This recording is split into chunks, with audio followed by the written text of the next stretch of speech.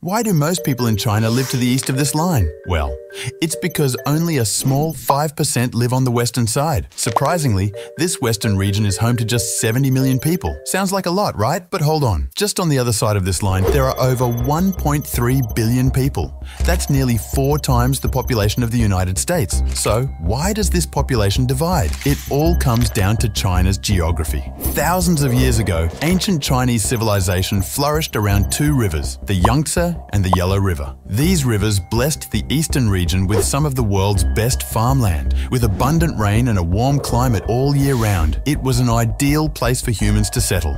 Fast forward to today, and you can see why so many people ended up here. But in the west, you'll find some of the driest deserts on Earth because the Himalayas act as a barrier, stopping monsoons from the south from reaching China. Plus, cold air from Siberia brings extreme temperatures that aren't conducive to sustaining a large population.